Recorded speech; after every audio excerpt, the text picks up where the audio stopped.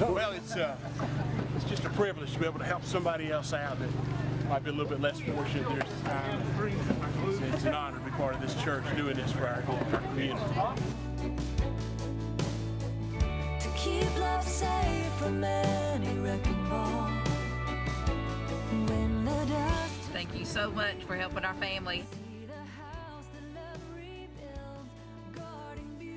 I think it's awesome. When I walked into the church and saw all the people that were there willing to help and load the boxes and they're so giving, it, it just almost gave you chills to be able to see that God was working that, that in so many people.